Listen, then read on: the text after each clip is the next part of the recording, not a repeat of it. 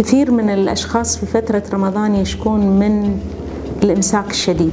طبعا هذه ناتج عن قلة السوائل بصورة مباشرة وعن عدم الرياضة في شهر رمضان لأن كثير من الناس ينامون ساعات النهار ويسهرون في الليل وينسون يشربون ماء فيشربون كثير من السوائل الأخرى مثل الشاي والقهوة في الليل اللي هي تؤدي إلى إمساك أكثر.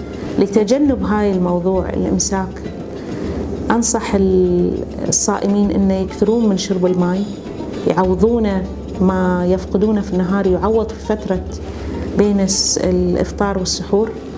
الإكثار من الخضار وخاصة السلطة بدال أكل الأشياء الدسمة في بداية الإفطار. سلطة وبعض الخضار المطبوخة أو الخضار الطازجة مهم جدا. تناول الفواكه بدال تناول الحلويات.